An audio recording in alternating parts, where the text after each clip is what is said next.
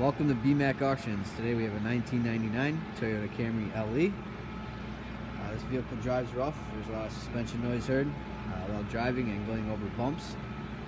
Uh, rattle noise can be heard at idle and driving as well.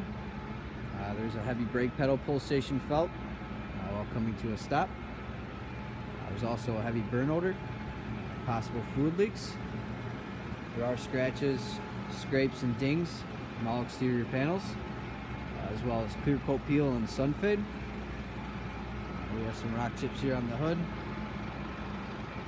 Be sure to review the gallery for more blunder shots. Alright, let's check out the interior.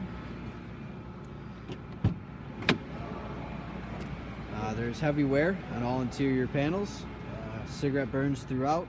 Stains on the carpet. Very dirty. It's going to need a detail. Here's the dash. Let me wrap it up for you.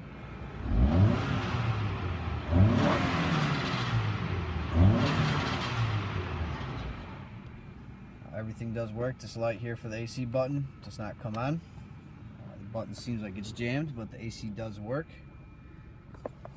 You can hear the rear window running, motor running for that window.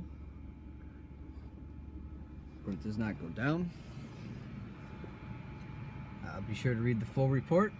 Thanks and good luck bidding.